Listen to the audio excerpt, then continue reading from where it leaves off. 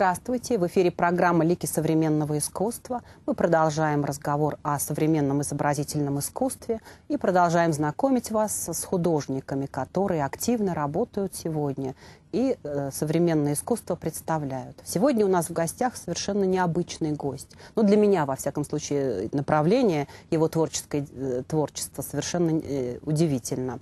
Это художник-оружейник Михаил Жирядин художник-оружейник, вот само по себе это, для меня было в свое время открытием, потому что мне казалось, что это уже ушло в прошлое. Художники, которые работали э, именно, э, над, э, именно трудились над созданием а, каких-то определенных предметов оружия. Оружейная палата, там, предположим, дворец Дожи в Венеции, там, конечно, множество образцов роскошного оружия. Но вот современный мир с его оружием массового уничтожения, э, конечно, он изменил отношение к оружию, а с другой стороны, не убрал вот само, самого направления. И поэтому, когда я познакомилась с творчеством Михаила, то для меня это было открытием.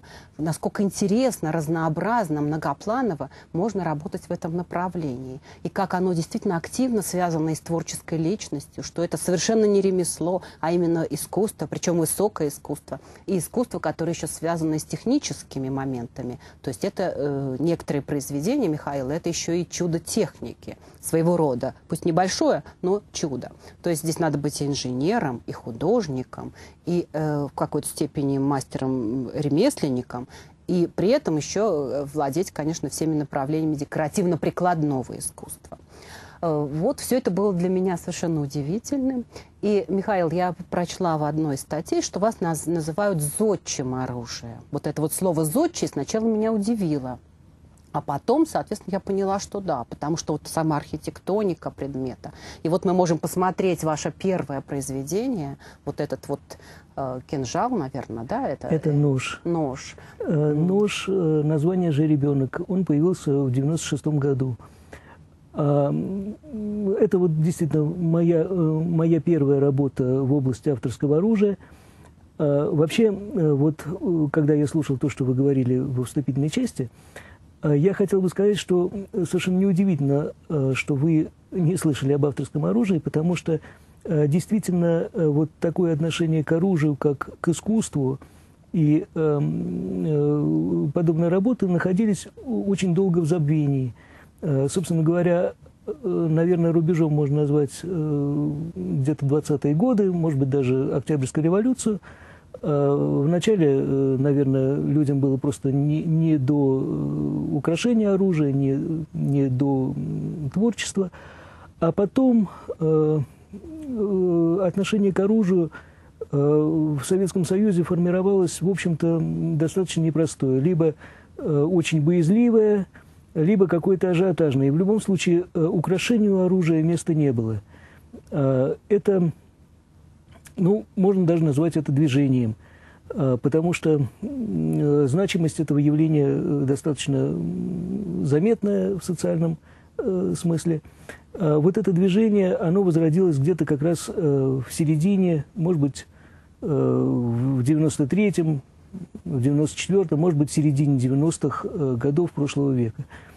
Мне повезло оказаться как раз вот в этот момент – Э, в нужное время, в нужном месте, как говорится.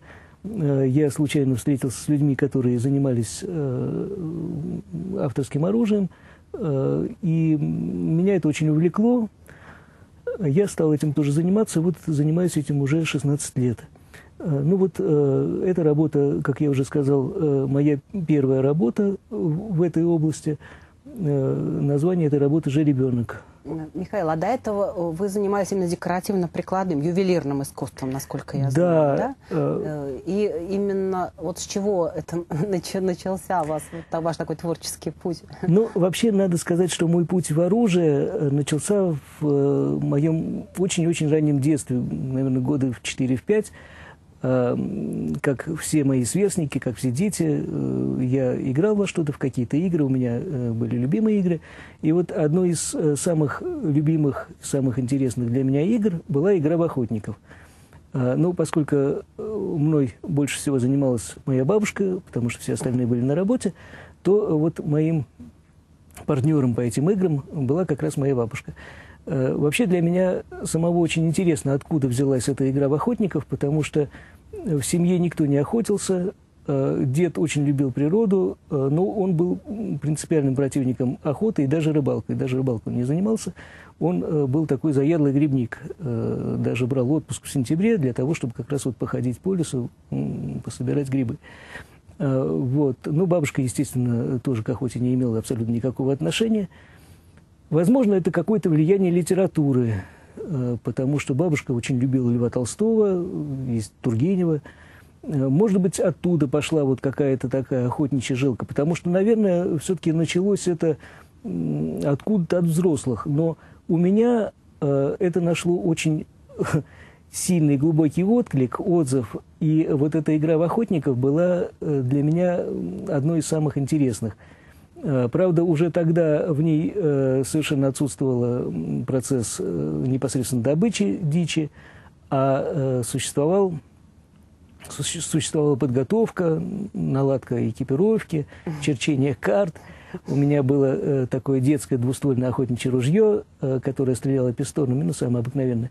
Но я помню, что уже в то время мне очень нравилось, что у него коричневый приклад деревянный. Э, потом оно потерялось, мне купили такое же, но с красным прикладом. Но я уже был разочарован, потому что коричневый приклад мне все-таки казался более каким-то настоящим. То есть тогда это уже имело значение? Да, даже да? тогда это, в общем, как-то я обращал на это внимание. Компоновка всех частей, даже их цвет. Это mm-hmm. все, конечно, потом в вашем творчестве совершенно станет mm-hmm. очевидным, потому что там все настолько э, гармонично. А вот я знаю, что именно к ювелирное искусство вы пришли по таким личным э, э мотивам, да, что вот в вашей семье, вот ваша супруга Мариана Жирядина, художник, она тоже была гостем нашей программы. И вот я знаю, что вы ей сделали давно, тогда еще в вашей юности, подарок. Колечко, которое в такую замечательную коробочку. Они просто слишком маленького размера, поэтому мы не взяли в студию. А, э, и там было вот кольцо, которое вы ей сами сделали. Да? И оно до сих пор существует. И это была ваша первая такая вот работа э, в этой направлении ювелирного да, искусства. Да, совершенно верно. Э, Мое занятие ювелиркой началось именно вот как раз с этого колечка, с желания просто сделать подарок. Ну, мы тогда еще не были женаты, но мне хотелось сделать подарок э, моей вот будущей супруге. И я подумал, что, наверное, я смогу сделать э, колечко. Собственно, что я и осуществил. Да. Вот и оно очаровательно. Вот колечко, у вас есть, да, хотя бы издали, потому да, что оно... оно находится в такой вот э, шкатулочке, которая из, из грецкого ореха сделана, и внутри уже обрамлено тканью соответствующей. Да. Вот и это колечко. вот колечко с гранатом, совершенно очаровательное, нежное. И вот, мне кажется, знаменательное просто произведение, оно, конечно, потому что оно положило начало такому да, продуктивному могу... творчеству. Не могу сказать, конечно, что э, я э, в восторге от сложности этого кольца, но, по крайней мере, до сих пор оно как-то вот еще пока существует, э, оно удалось. Собственно, наверное, э, для этого есть причина э, в том, что с раннего детства я не только играл э, в охотников, но как-то вот так вот тоже сложилось, я не знаю по какой причине, э, что ну, буквально тоже вот с 4-5-летнего возраста я занимался каким-то мастерством. То есть я что-то делал руками, мастерил э, всю жизнь. Э, кораблики, сохранился где-то даже самолетик, который сделан, э, дед поставил на нем дату, 67 год, мне тогда было 4 года. Э, ну, собственно говоря, в общем, самолетик, он, конечно, очень примитивный, он сделан из чурочек, э, которыми топили самовар. Вот. Но, тем не менее, у него есть крылья, фюзеляж, э, даже пропеллер. То есть он как бы вот, ну, внешне похож на самолет действительно. Вот. Э, в остальные годы вот эта тяга к, к рукоделию и конструированию у меня была всегда очень сильная. Э, ну, естественно, как все мои сверстники, я делал какие-то ружья, пистолеты, мы их выпиливали из досок. Иногда это были стреляющие образцы. Э, многие мои сверстники, наверное, э, знают вот эти э, ружья, которые стреляли пульками, согнутыми из алюминиевой проволоки в виде буквы «У».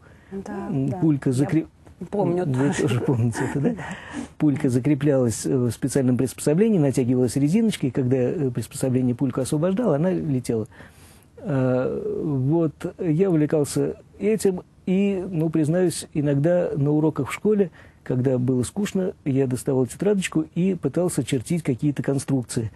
Ну, наверное, большинство из них, конечно, не было реализовано, но, тем не менее, это доставляло мне большое удовольствие. Вот э, я как-то вот жил в, в этом мире конструирования и именно, в общем, как бы оружие, то есть вот э, конструирование не просто механики, а именно оружие меня особенно увлекало. Понятно, да. Но э, возможность, конечно, была только заниматься холодным оружием, потому что, насколько я знаю, что все другие виды это Разумеется, для художника да. это невозможно. Ну, в детстве такого вопроса не стояло, потому ну, что понятно, то, что делалось в детстве, вообще назвать оружием невозможно, конечно. А в настоящее время, к сожалению, да, законодательные рамки не позволяют думать ни о чем другом, кроме холодного оружия. Ну, а нарушать закон ну, по крайней мере, мне это совершенно не близко. Ну, это совершенно понятно, да. Ну что же, мне кажется, надо посмотреть ваши работы. Видите, здесь вот э, а, такая шкатулка создается, э, причем Михаил сам делает шкатулку, определяет ее форму. И э, вот этот вот, э, это кинжал, да? Это стилет. Стилет. Скорее всего, это стилет. Потому что вообще э, авторское оружие, оно не ставит перед собой задачи точного соответствия каким-то историческим названиям. Все-таки это, э, это творчество, это оружейные фантазии, и иногда бывает, в общем, трудно определить, какому классу э, принадлежит данный предмет. Но вот это, скорее всего, можно смело отнести к стилету. У него узкий, толстый клинок, достаточно длинный. Э, стилет называется эгроплезир. Это такая немножко вольная фантазия на тему французского языка, потому что «плезир эгре» – это острое удовольствие в переводе с французского, но э, в таком порядке слов э, по-русски это звучит менее благозвучно, поэтому название немножко изменено, да, и «эгр плезир». Да, и вот следующий слайд. Вот мы видим эту подставку, которая хранится в, коро... в шкатулке в самой.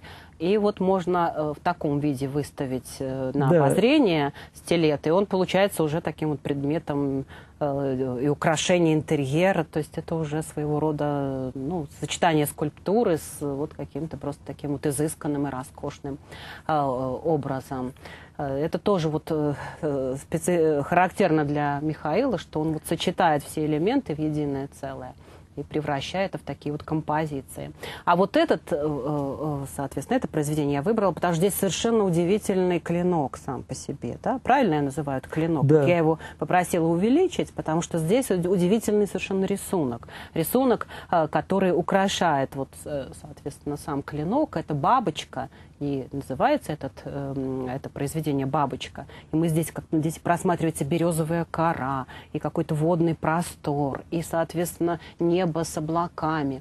И все это так э, торжественно, монументально, а в то же время поразительно изысканно. Это техника художественного травления по стали. Да.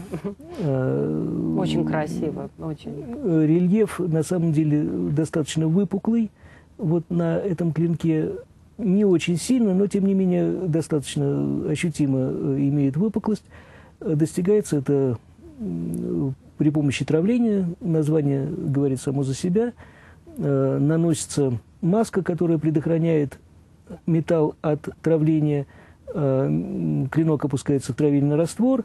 То, что было закрашено, остается выпуклым, а то, что было не закрашено, опускается. И таким образом слой за слоем, э, добавляется рисунок, э, снимается слой за слоем. В общем, на произведении может быть достаточно большое количество таких слоев, но они создают рисунок вот сложный, выпуклый и состоящий из раз, разных деталей.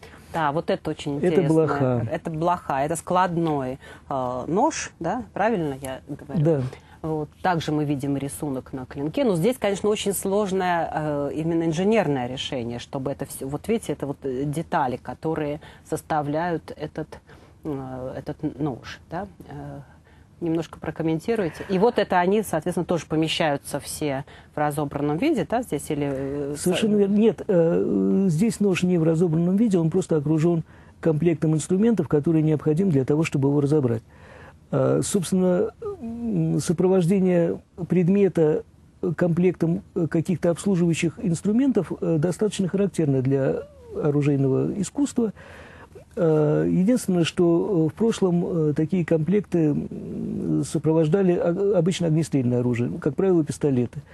В комплект могла входить пулелейка, какие-то отвертки для того, чтобы этот пистолет обслуживать. Для холодного оружия, конечно, такой инструмент не требовался.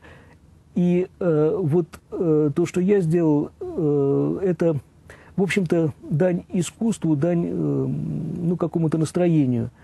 А, вот этот нож блоха, он, как я уже сказал, разбирается, и разбирается вот с помощью этого инструмента. И следующая, вот очень интересная тоже э, коробка сама здесь, в меня вот шкатулка это привлекла, потому что она настолько красивой формы, поразительный такой вот овал удлиненный, красное дерево, внутри, соответственно, серебряная, э, вот эта вот э, э, серебряная отделка. И, насколько я знаю, там еще зеленый бархат, да, вот. Да. И, соответственно, все это, это для кинжал размещения кинжала. Дриада. Да, дриада. Название этого кинжала дриада. Э, ну, как известно, дриада лесная нимфа, и э, в этой работе я попытался э, создать какое-то вот настроение лесной опушки, или, может быть, лесной подстилки, какого-то вот многообразия, соответствующего природе. А, что касается дерева, то здесь можно сказать отдельно, это вот цвет этого дерева натуральный, это не крашеное дерево, Просто есть вот такая порода дерева, называется оно амарант, и оно имеет вот такой вот свекольный цвет. Да. Очень красиво. Вот так многообразная, да. так удивительна природа. Да. А это, соответственно, сам по, э, э, сам по себе кинжал уже без вот этого вот облачения, мне даже хочется сказать, потому что шкатулки – это вот какая-то неотъемлемая часть, которая, конечно, подчеркивает красоту, но и без шкатулки он тоже роскошно совершенно смотрится. Вот, вот еще одно произведение Михаила. И здесь мы видим уже вот инкрустация с помощью золотого такого вот э, вкрапления. Вот, э, это... это нож Хроникус. Название этого ножа Хроникус. Э, ну, название достаточно фантазийное. Оно появилось от попытки ну, как-то соотнести вот эту работу с каким-то прошлым. Хронос – время, и э, как-то вот так вот появилось название Хроникус. Э, все работы в области авторского оружия, они, наверное, э, их все можно э, соотнести с традициями оружейного искусства, э, с нашим прошлым, потому что э, в них э, очень широко применяются те техники и технологии, которые применялись э, в глубокой древности.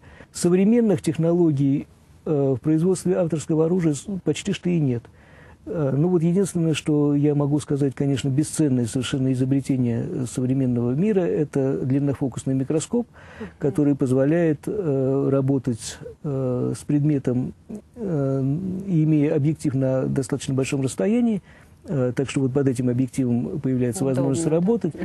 Да, и, конечно, вот это увеличение и возможность видеть любые абсолютно самые мелкие детали, оно э, бесценно. Я не знаю, может быть, наши предки были как-то обладали лучшим здоровьем, лучшим зрением, вот, но э, для нас, в общем, не использовать оптику практически невозможно. Да. Вот еще вот одно ваше произведение, которое сейчас на, на экране мы можем видеть. Это «Железный барон». Железный барон, да. Чувствуется мощь, элегантность, сила, уверенность определенная. Михаил, а в принципе можно использовать, э, ну, так сказать, по прямому назначению, то есть, соответственно, что-то отрезать этим э, ножом? Или вот он все-таки декоративную э, Нет, роль э, все играет? предметы, которые э, я делаю, я стараюсь их делать стопроцентно функциональными, теоретически. Uh-huh. То есть э, все клинки имеют э, необходимую твердость, они все закалены, и геометрия этих клинков, она конструируется таким образом, чтобы они обладали максимальной прочностью. То есть у них нет каких-то, я стараюсь избегать каких-то мест, где вот он мог бы сломаться, потому что он ослаблен. Э, то есть теоретически любой из этих предметов, э, вот как он выглядит, в такой степени на него можно рассчитывать. Понятно. Но я бы, например, только, может быть, бумагу могла бы разрезать, потому что он настолько раскошен сам по себе, что просто вот даже с каким-нибудь фруктом соприкосновение его, мне кажется, и то было бы крайне нежелательно. Ну, для меня, по крайней мере. Нет, ну, Именно конечно. исходя из эстетики произведения. Эти, э, все эти работы, они не делаются в расчете на то, что кто-то ими будет пользоваться. Э, Это все-таки делается в основном для удовлетворения эстетических, духовных потребностей. Э, Но, тем не менее, все-таки оружие, слово «оружие», оно обязывает к тому, чтобы предмет был функциональным. Понятно. Давайте это вот, э, соответственно, железный барон в своем облачении, в шкатулке для него предназначенной. И вот это совершенно поразительная вещь. Это нож, который называется комар.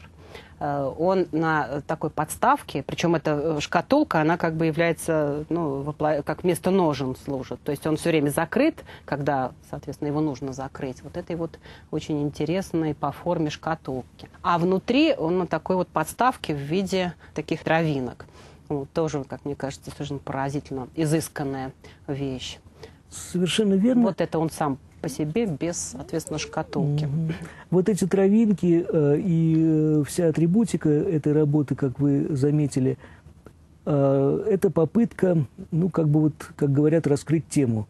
Э, то есть тема комар, э, ну, соответственно, какие-то камыши, какие-то травки. И э, сама форма вот этого ножа, э, я тоже попытался передать как бы вот характер этого насекомого. Он такой немножко витиеватый, занудливый, песклявый. э, Ну да. И вот как бы вот такая, да, немножко причудливая форма, э, конечно, может быть, не характерная для функционального ножа. Э, Она сделана не случайно, а именно вот с целью э, передать характер настроение вот этого насекомого.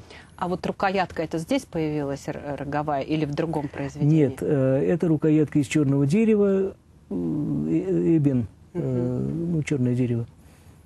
А роговая рукоятка это вот, вот на этой работе, э, это Это клик называется, Клик, насколько я помню. верно. Складной нож, тоже, естественно, с механизмом внутри. Складной Вот нож. он в разобранном, э, в разложенном, вернее, виде. рукоятка из рога буйвола. Мгм. Очень интересный э, для меня материал. Э, собственно, я недавно его для себя открыл.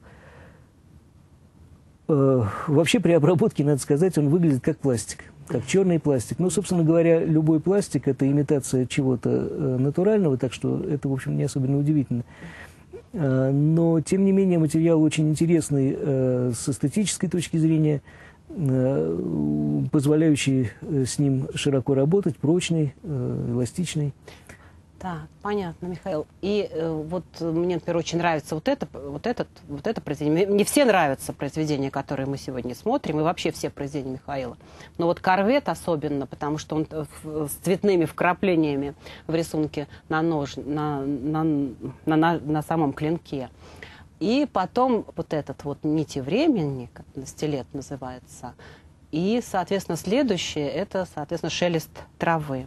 То есть это уже такие вот скульптуры э, в чистом, как мне кажется, виде, созданные на основе, вот, э, соответственно, оружия художественного. То есть это какой-то выход в новый жанр и в новую какую-то вот, э, в новое творческое направление. Ну, вы знаете, не совсем в новое, потому что, в принципе, эм, создание вот этих скульптур, оно, в общем, достаточно характерно для авторского оружия. Э, Носит оно название «кабинетное оружие». Есть такое название «кабинетное оружие». Э, То есть это как раз э, предметы, которые предполагается, что они будут дополнять интерьер и как-то вот в интерьере и жить. Собственно говоря, вот эти два стилета, они как раз относятся к кабинетному оружию. Ну, а э, Ну, какое-то удачное направление. настроение, кажется, да, настроение и какой-то смысл, ну, естественно, как художник я пытался вложить в эти произведения. К сожалению, время нашей передачи истекло, но я очень рада, что вы пришли. Спасибо вам большое, Михаил, и успехов вам творческих. Спасибо вам. Да, я прощаюсь с нашими зрителями. До следующей встречи.